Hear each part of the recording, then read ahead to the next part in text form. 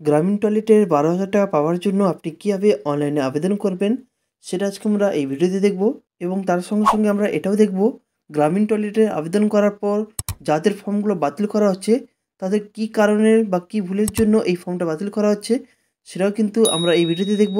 তার জন্য আপনাদের সবার কাছে একটা অনুরোধ, ভিডিওটা দয়া করে স্কিপ করে দেখবেন না। সবার প্রথমে আপনার মোবাইলে বা কম্পিউটারে যে কোনো ব্রাউজারের মধ্যে গিয়ে আপনি এস বি এম এটা সার্চ করবেন। এটা লিখে সার্চ করলে আপনি সবার উপরে যে ওয়েবসাইটের লিঙ্কটা দেখতে পাচ্ছেন, এই লিঙ্কে ক্লিক করবেন।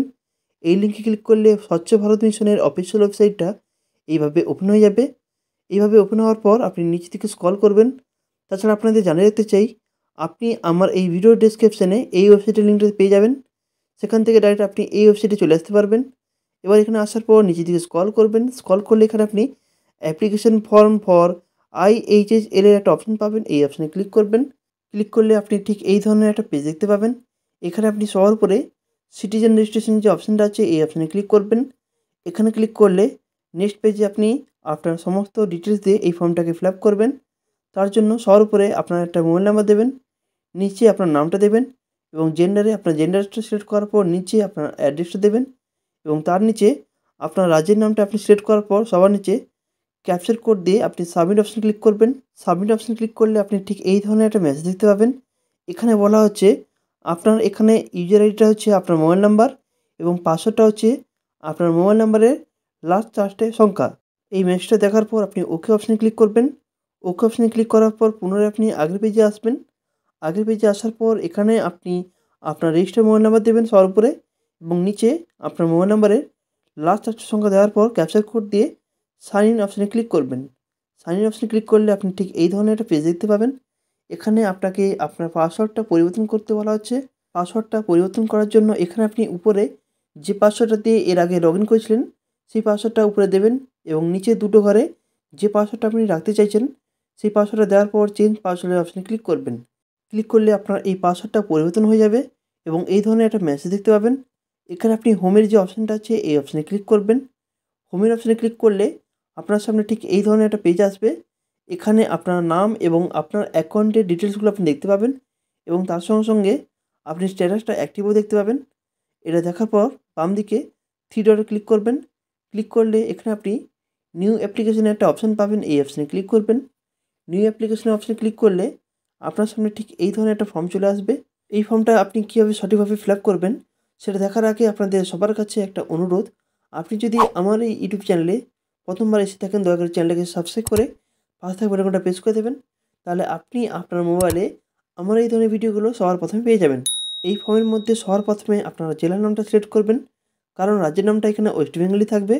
এরপর আপনার ব্লকের নামটা সিলেক্ট করবেন। ব্লকের নামটা সিলেক্ট করার পর পাশে আপনার পঞ্চায়েতের নামটা সিলেক্ট করবেন এবং নিচে আপনার গ্রামের নাম এবং তার পাশে আপনার পাড়ার নামটা সিলেক্ট করবেন। যে পাড়াতে আপনি বসবাস করেন, সেটা এখান থেকে আপনি সিলেক্ট করবেন। এটা সিলেক্ট করা হয়ে গেলে নিচের দিকে স্কল করবেন।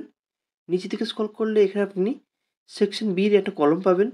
এই কলমের মধ্যে আপনার আধার কার্ডে যে নামটা আপনার আছে, সেই নামটা এখানে সবার প্রথমে যে name of the applicant as per Aadhaar কার্ডের যে অপশানটা আছে, এখানে আপনার নামটা দেবেন। নামটা দেওয়ার পর পাশে আপনার আধার কার্ডের নাম্বারটা দেবেন এবং নিচে একটা টার্ম অ্যান্ড কন্ডিশন পাবেন। এই টার্ম অ্যান্ড কন্ডিশনটা অ্যাকসেপ্ট করার পর পাশে ভেরিফাই আধার নাম্বারের যে অপশানটা আছে, এই অপশানে ক্লিক করবেন। এই অপশানে ক্লিক করার পর নিচে এই অ্যাপ্লিকেন্টের বা এই আবেদনকারীর নিচে তার বাবার নাম বা মহিলার ক্ষেত্রে তার স্বামীর নাম দেবেন এবং পাশে জেন্ডারটা সিলেক্ট করবেন। জেন্ডারটা সিলেক্ট করার পর নিচে ক্যাটাগরি অপশানে গিয়ে ক্লিক করলে আপনি দুটো অপশান পাবেন এপিএল এবং বিপিএল এই ব্যক্তি বা এই আবেদনকারীর যে ক্যাটাগরির সেটা এখান থেকে আপনি সিলেক্ট করবেন। ক্যাটাগরিটা সিলেক্ট করার পর পাশে সাব ক্যাটাগরি একটা অপশান পাবেন। এখানে ক্লিক করে এই ব্যক্তির সাব ক্যাটাগরিটা সিলেক্ট করবেন। এসটি না এসসি না জেনারেল এগুলো আপনি এখান থেকে সিলেক্ট করবেন।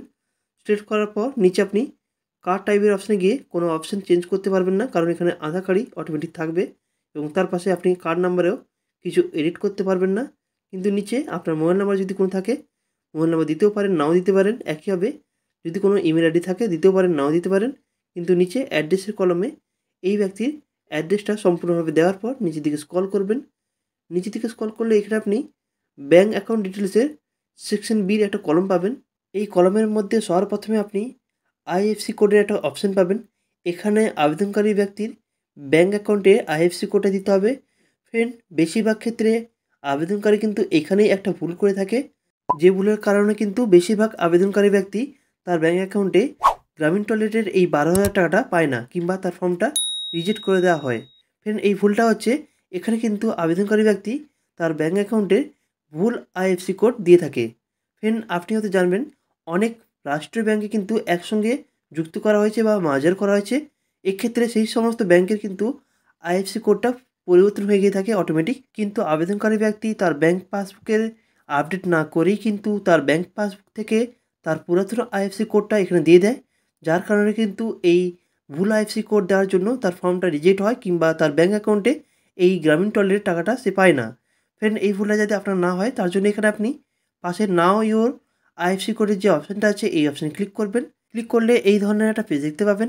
এখানে উপরে আপনার যে ব্যাংকে আপনার ব্যাংকের অ্যাকাউন্ট আছে, সেই ব্যাংকের নামটা আপনি উপরে দেবেন এবং নিচে যে ব্রাঞ্চে বা যে এলাকার আপনার এই ব্যাংকটা আছে, সেই এলাকার নামটা দিয়ে আপনি সার্চ করে নিতে পারবেন এই ব্যাংকের আইএফসি কোডটা এখানে আপনি আপনার ব্রাঞ্চের এরিয়ার নেম বা ব্রাঞ্চ নেমটা সিলেক্ট করলে নিচে আপনার এই ব্যাংকের আইএফসি কোডে চলে আসবে।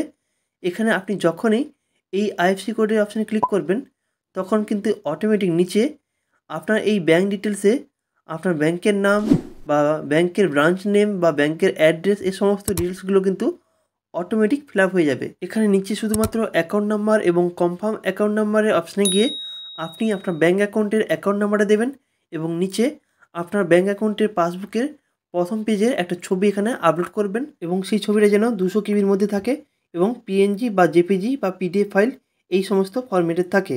এইভাবে আপনি আপলোড করার পর নিচে আপনি অ্যাপ্লাই অপশান ক্লিক করলে এই ফর্মটা অনলাইনে সাবমিট হয়ে যাবে।